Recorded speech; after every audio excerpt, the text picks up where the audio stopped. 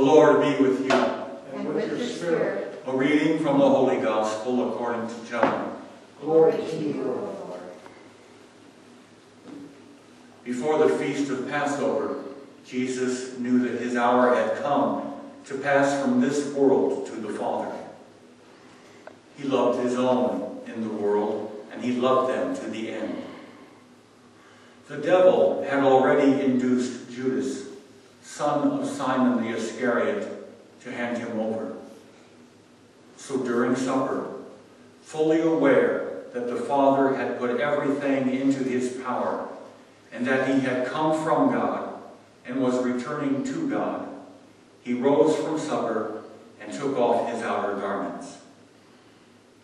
He took a towel and tied it around his waist.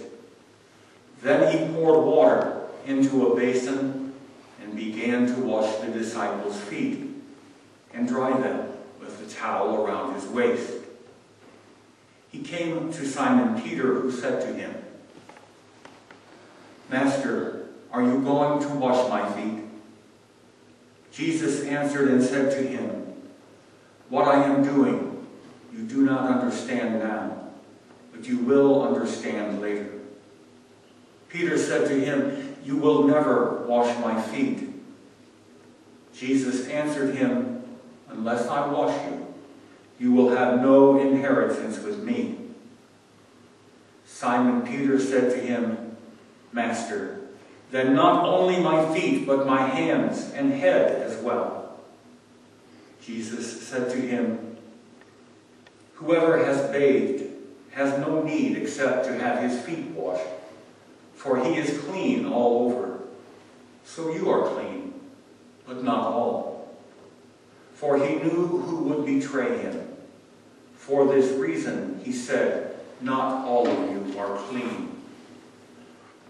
So when he had washed their feet and put his garments back on and reclined at table again, he said to them, Do you realize what I have done for you? You call me teacher and master, and rightly so, for indeed I am. If I, therefore, the master and teacher, have washed your feet, you ought to wash one another's feet. I have given you a model to follow, so that as I have done for you, you should also do. The Gospel of the Lord. Praise to you, Lord Jesus Christ.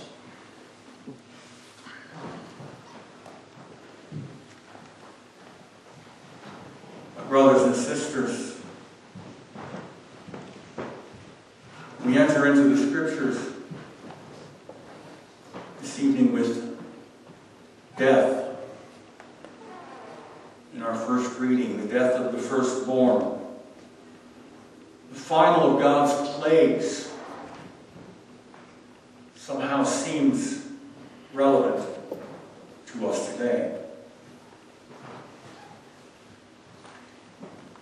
And we close the readings with Jesus acknowledging the betrayal he is about to undergo so that he might go to his death. We're living in very strange times. But between the two readings, we have something very special. We have beauty and a reminder of who we are as Catholics. St. Paul speaks to us of the Eucharist. First offered in that room on Holy Thursday the 1st. Remembered and recalled and reenacted down through the centuries to this day. We're a people of beauty. We're a people of memory. That memory is called into practice maybe a little more these days.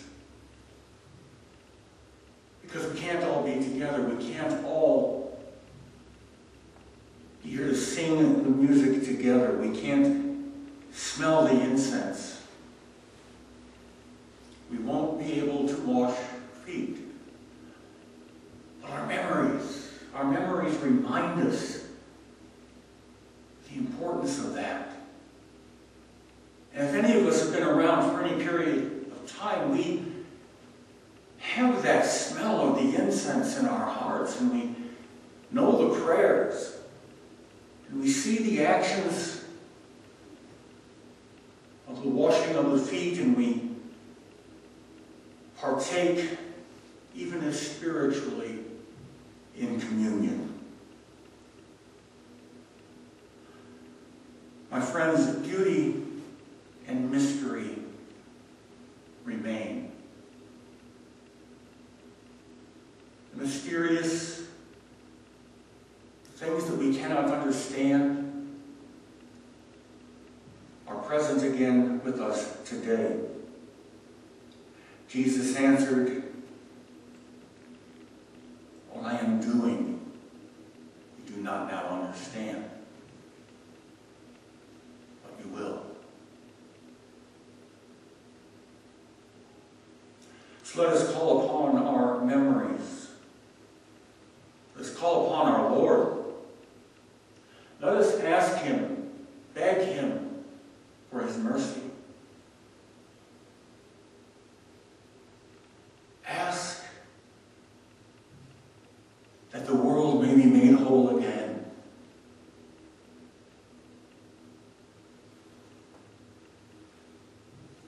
God uses all things for the good. We do not know yet what that is. But we've already began to see some of it, haven't we? Kindnesses from our neighbors that maybe weren't there before. An extra step to help another person. Meals being delivered to people. We're remembering the poor again in a way that we hadn't before. We're finding new ways to wash other people's feet. And that's a good thing. That's a good thing. So let us keep in our minds and our hearts people who are ill, those people who are out of work,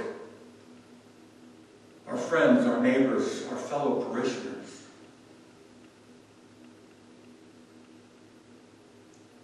Let us pray that God have mercy on them and on ourselves.